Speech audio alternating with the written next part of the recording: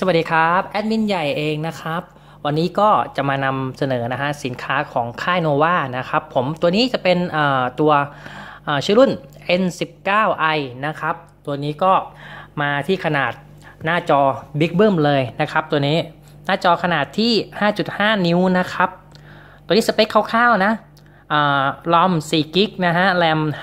512 แล้วก็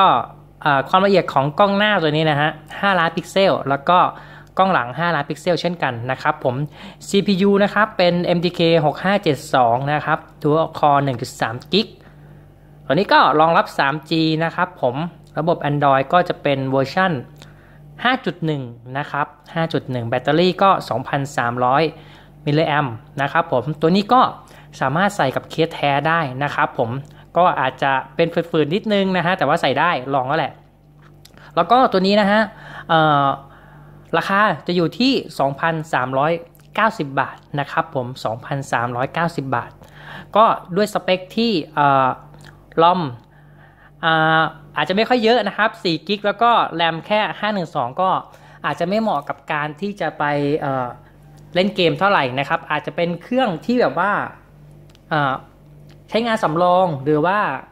เน้นรูปทรงสวยงามอะไรอย่างนี้มากกว่านะฮะ ไม่ไม่ต้องไปเน้นเล่นเกมอะไรมากมายนะ อาจจะเป็นแค่เล่นไลน์เล่นเฟซแค่นี้นะฮะ ก็น่าจะโอเคพอได้อยู่นะครับ ด้วยรูปทรงที่มันอจอขนาดใหญ่แล้วก็ราคาไม่แพงมากนะครับ ผมก็น่าอีกจะเป็นตัวเลือกหนึ่งที่น่าสนใจนะครับผมมาดูข้างในกัน ข้างในเป็นยังไงมาดูกันนะฮะแกะออกมาปุ๊บก็จะเจอกับตัวเครื่องก่อนเลย ตัวนี้นะฮะสีอะไรตัวนี้ สีชมพูนะครับผม ตัวนี้ใส่เคสแท้ได้นะฮะ อะ ไปดูอุปกรณ์เลยก่อน อันนี้คืออุปกรณ์นะฮะ ในตัวกล่องก็จะมีอะแดปเตอร์มาให้นะครับผมอะแดปเตอร์หัวชาร์จ แล้วก็หูฟัง small talk นะฮะ เป็นแบบสุญญากาศมาให้หนึ่งอัน แล้วก็ใส่ดาต้านะครับหนึ่งอัน แล้วก็แบตเตอรี่ 2,300 มิลลิแอมนะครับ เดี๋ยวผมใส่ให้ดู นี่ก็จะเป็นใบรับประกันสินค้านะครับของโนวาการรับประกันสินค้าก็ 1 ปีเต็มนะครับ แล้วก็มีฟิล์มกระจกนะฮะนี่ฟิล์มกระจกมาให้ด้วย ใครสั่งซื้อเดี๋ยวติดแถมให้ไปเลยนะครับ คู่มือการใช้งานนะฮะเป็นภาษาไทย รับรองว่าอ่านออกแน่นอนนะครับ ผมไม่ต้องกังวลวิธีการใช้งาน อันนี้อันสุดท้ายนะฮะก็จะเป็นเคสใสที่แถมมาให้นะครับ หรือใครจะไปซื้อเพิ่มเติมก็ได้นะครับ ใช้กับตัว i7 พัดนะครับไปลอง ซื้อหาใช้กันได้นะครับ ใช้ด้วยกันได้ เดี๋ยวขออนุญาตเก็บก่อนนะฮะ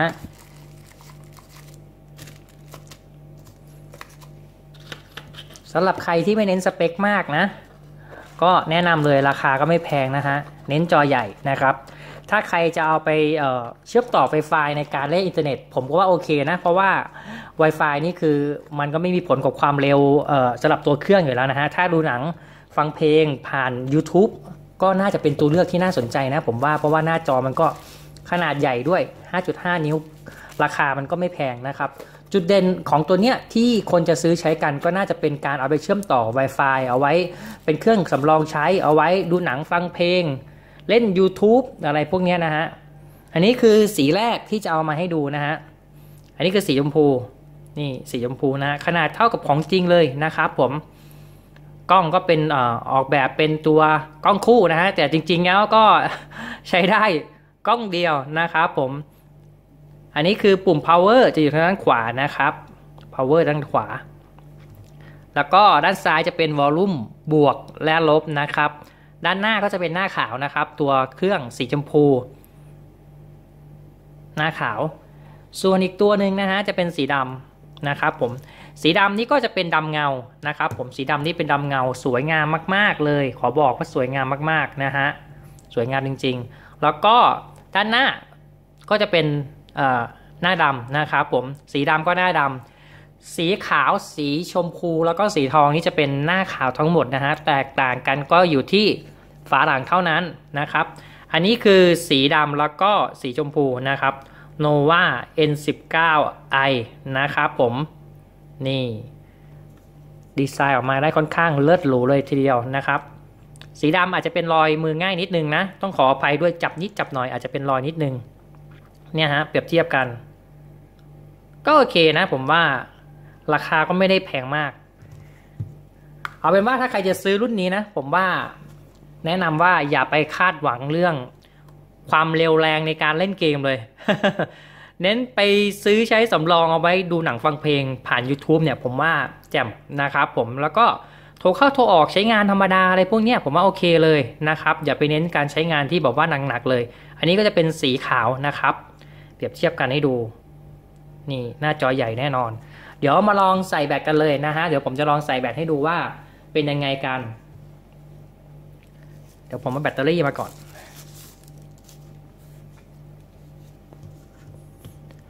วิธีแกะฝาหลังนะฮะก็จะมีเหลี่ยมอยู่ตรงเนี้ยเนี่ยเห็นไหมแกะเลยเนี่ยฮะแกะไม่ยากครับ แกะไม่ยากเลย อันนี้ใส่แบตลงไป ช่องใส่ซิมอยู่ตรงนี้นะฮะเป็นซิมใหญ่ แล้วก็จะเป็นซิมไมโครส่วนช่องตรงนี้จะเป็นช่องใส่ SD card นะครับผมช่องใส่ SD card N19i นะคะลองใส่กันดู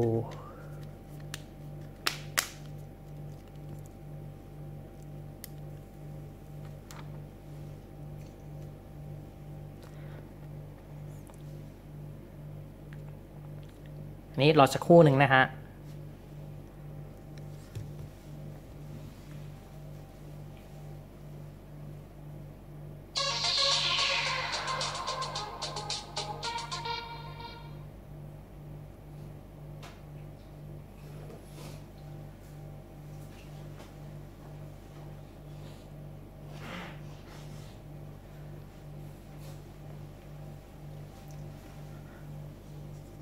อะ มาแล้วนะฮะ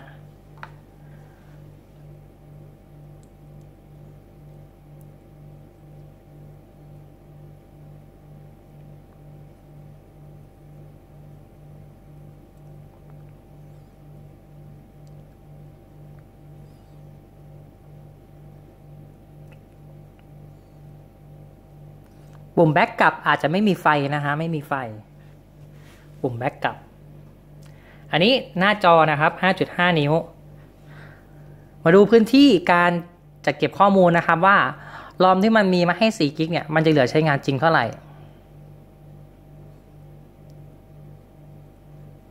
ตรงนี้นะฮะจะว่างอยู่ประมาณ 3.68 นั่นก็คือว่า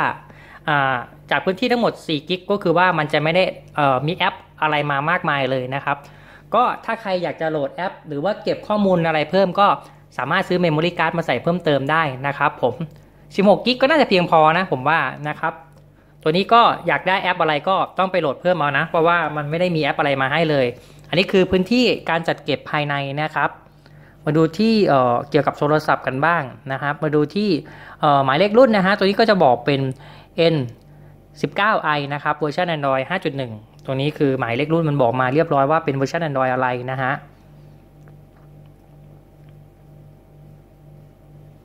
อันอื่นก็ปกติทั่วไปครับ เหมือนกับโทรศัพท์ทั่วไป เมนูต่างๆก็มือนเหมือนกันนะฮะ มาดูที่กล้องเลยละกันนะครับ กล้อง 5 ล้านพิกเซล จริง ๆ แล้วตัวนี้ปกติราคานี้มันจะประมาณ 2 ล้านพิกเซลนะ แต่ว่าตัวนี้มันอัปเกรดขึ้นมา แล้วเขาก็เพิ่มความละเอียดของตัวกล้องเป็น 5 ล้านนะครับ เอามาเริ่มที่กล้องหลังกันก่อนก็ได้นะฮะ ตัวนี้ยังสามารถแตะโฟกัสได้อยู่นะ ตัวนี้นะฮะแตะโฟกัสได้อยู่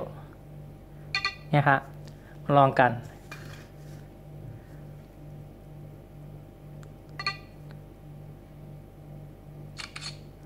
แล้วก็ขอลองแบบเปิดแฟลชด้วยแล้วกันนะ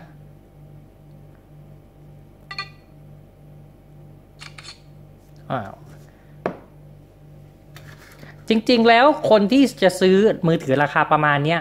ที่ซื้อจอใหญ่ๆเนี่ยแทบจะไม่ได้คำนึงถึงเรื่องกล้องเลยนะผมว่า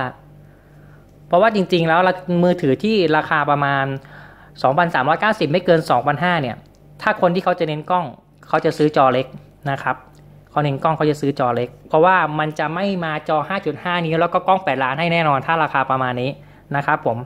อะมาดูกัน อันนี้ก็จะเป็นรูปถ่ายนะครับ นี่รูปถ่าย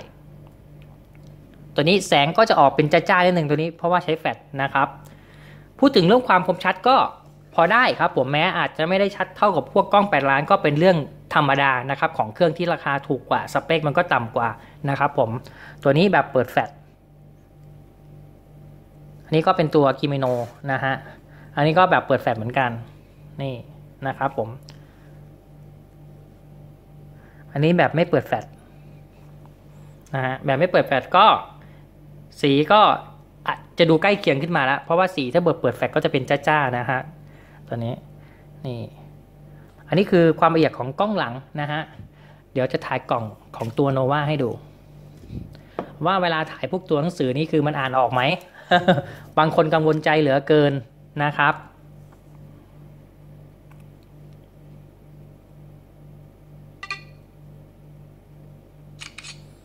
เปิดแฟลชนะฮะตัวนี้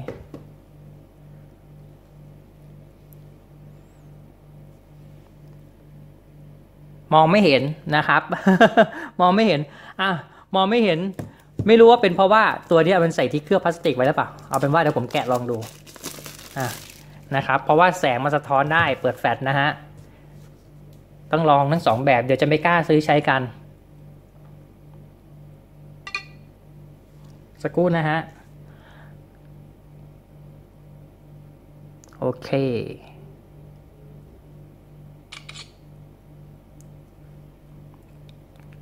อะเปิดพลาสติกออกแล้วค่อยยังชั่วนะฮะอ่านออกแล้วนะครับ ผม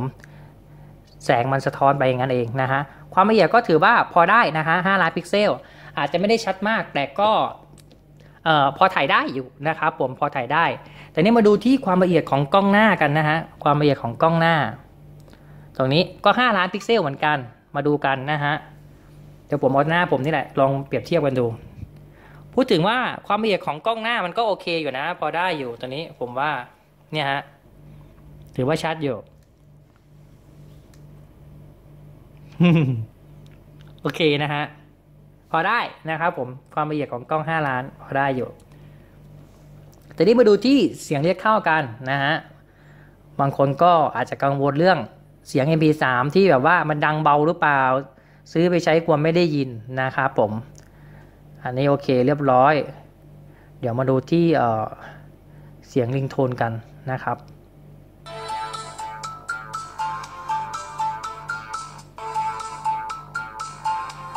พอได้อยู่นะ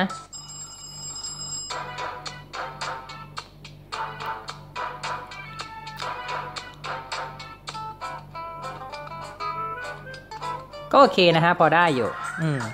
เอาไปนว่ามาดูเรื่อง YouTube กันเลยดีกว่า เดี๋ยวผมขออนุญาตต่อ Wi-Fi ก่อน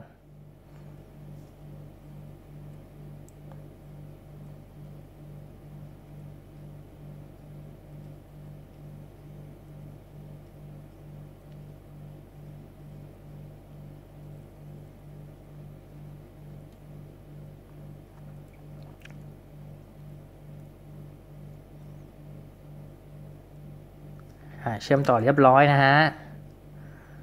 ถ้า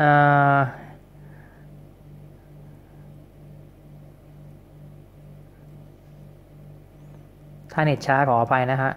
เชื่อมหลายเครื่องเหลือเกินที่บ้านผม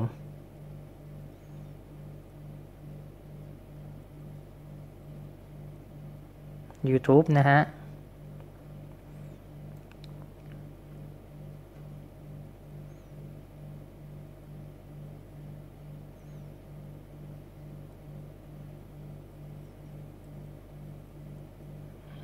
มาเรียบร้อยนะฮะ เป็นยังไง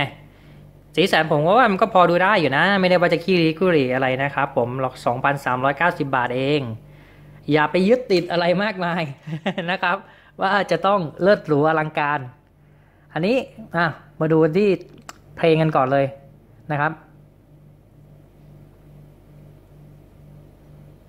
อืม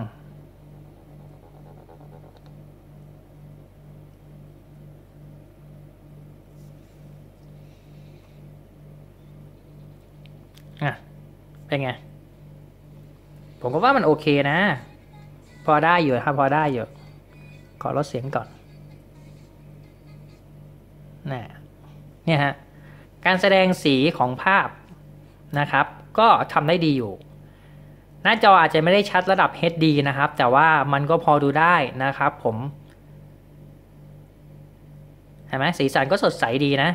เสียง MP3 ก็ดังดีครับ เพียงแต่ว่าเปิดไม่ได้ เดี๋ยวด้วยบอกว่าเปิดไปเดี๋ยวติดลิขสิทธิ์แล้วเขาจะไม่ให้แบบผมเผยแพร่นะครับ เนี่ยฮะ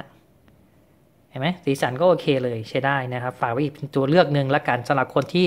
มองหามือถือราคาไม่แพงนะครับ 2,390 บาทนะครับ สนใจก็